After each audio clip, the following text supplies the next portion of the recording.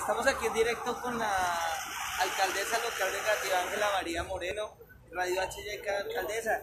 Cuéntanos qué se busca con esta cuarentena obligatoria y cómo, cómo va a manejarse en la localidad negativa.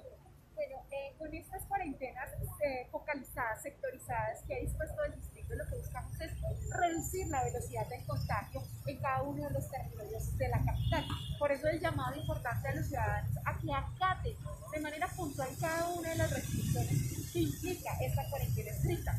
Es decir, que solamente podrán funcionar los establecimientos de comercio o servicios que presten servicios y vendan elementos esenciales.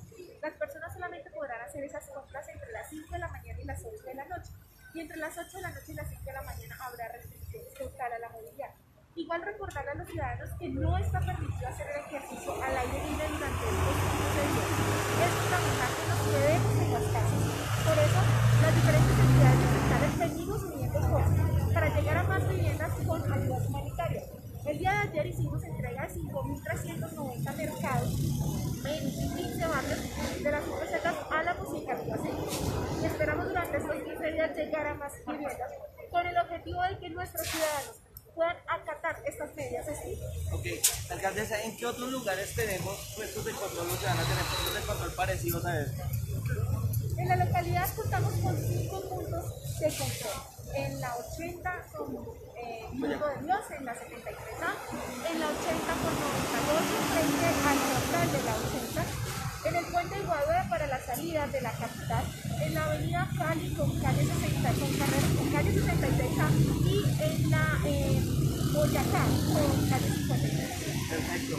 Muchísimas gracias, felicitaciones por la labor que están haciendo y esperemos que la gente tome conciencia y nos demos cuenta que ya es necesario poner de nuestra parte. Sabemos, alcaldesa, que hay mucha gente que tiene la necesidad de salir, obviamente, pero ¿qué le decimos a esa gente que, que definitivamente tiene que salir? ¿Qué documentación debe llevar? Pues es importante que carguen el carnet, el servicio laboral para que se puedan los servicios de salud, por supuesto, médicos, de seguridad, los servicios financieros. Las personas que tengan a cargo el cuidado de persona mayor, de población vulnerable, de personas con discapacidad, pueden hacerlo, están exceptuadas, pero siempre deben ir realmente identificados. Y quienes salgan en el marco de esas restricciones, que lo hagan con todas las medidas de la autoridad, que usen sus tapabocas, que hagan el lavado constante de manos, que mantengan el distanciamiento y quienes no están exceptuados, se mantengan en su casa. Vale, muchísimas gracias.